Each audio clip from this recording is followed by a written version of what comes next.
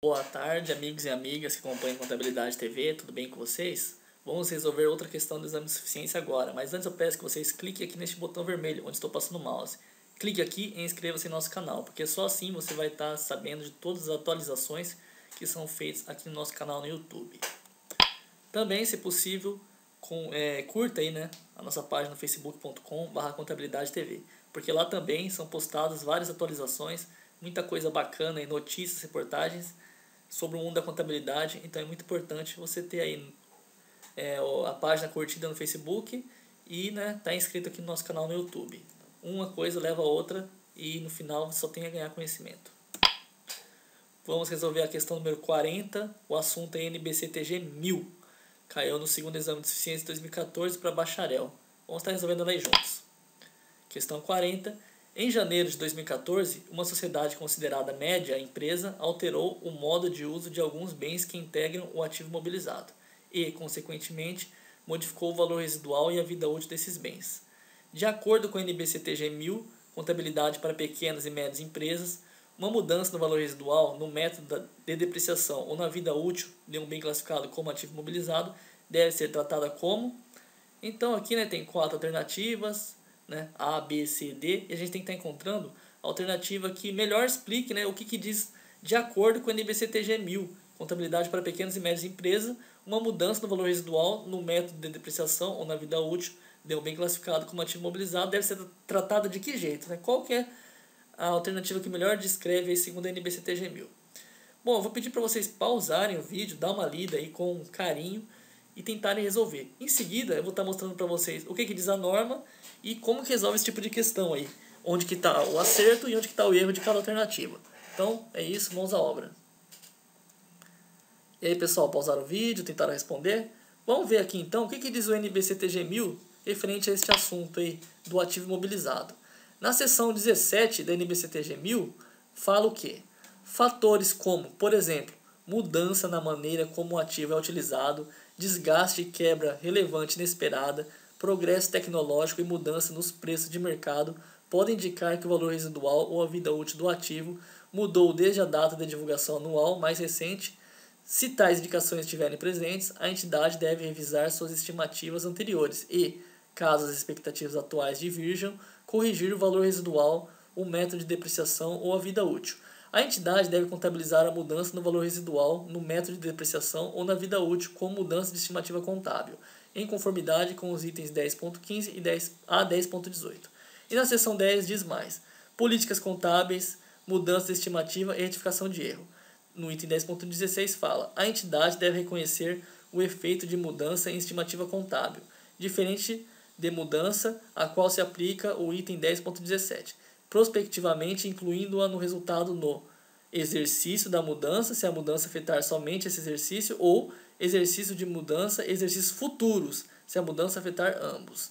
Então, né, é no exercício da mudança e no exercícios futuros. Grave bem essa palavra, exercícios futuros. E pelo que entendemos, né, pelo que eu entendo também, com base na NBCTG, a mudança nos itens citados pela questão, a empresa terá que fazer ou no exercício atual ou nos exercícios futuros. Então, toda aquela alternativa que falar sobre o exercício anterior, você já elimina. Sendo assim, a resposta vai ser a letra A, né? Gabriel da questão é a letra A. Vamos ver agora então onde que está os erros das questões. Né? Na letra A a gente já viu que estava correto, né? Ela falava ali mudança estimativa contábil, calcula-se a depreciação, utiliza-se o um novo valor residual e a vida útil com base no custo de aquisição ajustado do bem.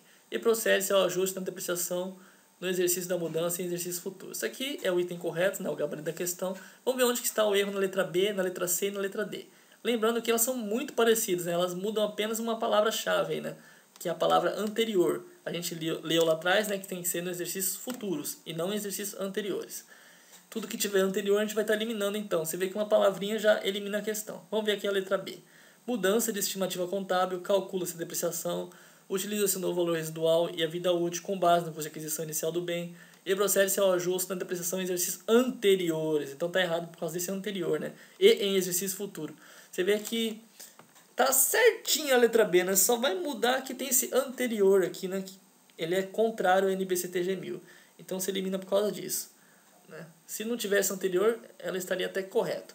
Na letra C fala: mudança de política contábil, cálculo de depreciação, utiliza-se novo valor residual e a mudança é, de política contábil, cálculo de depreciação no valor residual e a vida útil com base no custo de aquisição inicial do bem e procede seu ajuste na depreciação em exercício anterior, se elimina por causa do anterior. Na letra D é a mesma coisa, ele segue correto até, né, que ele fala que é anterior, não é nada de exercício anterior, e sim exercícios futuros. Essa era a palavra-chave, né? Essa era o gabarito da questão, letra A. Então, bastava estar conhecendo essa norma aqui, né? Seria que eles copiaram e colaram aqui, né? Um, bem dizer, né? A ideia veio daqui. E bastava a gente estar conhecendo aqui a seção 17, no item 17.19, e a seção 10, no item 10.16, você conseguiria resolver esse tipo de questão aí, que fala sobre a NBCTG 1000, contabilidade para pequenas e médias empresas. Você vê que uma palavrinha de nada né, já altera aqui o sentido da coisa e faz a questão estar errada. Então tem que tomar cuidado, por isso tem que estar lendo aí com atenção para não estar caindo nesse tipo de pegadinha. E agora eu vou falar um pouquinho para vocês aí sobre o curso de contabilidade apostilas em PDF. Temos o curso de contabilidade geral, curso de contabilidade e custos e o curso de auditoria.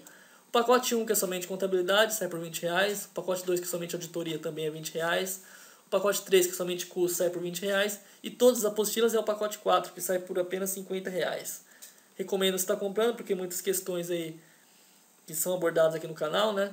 Tem teoria simplificada para você poder estar compreendendo melhor né, nessas apostilas. Muitas das aulas são feitas em cima dessas apostilas, fica mais fácil estar entendendo então o que, que é colocado aqui no nosso canal.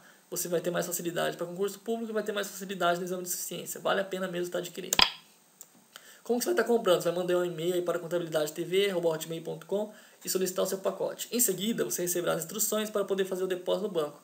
E por último, você estará, né, ao depositar, estará recebendo as apostilas por e-mail. Então é tudo feito de forma online para poder estar agilizando o serviço. Muito obrigado que assistiu o vídeo e até a próxima. E sucesso na carreira de contador, aquele abraço e até o próximo vídeo. Fui!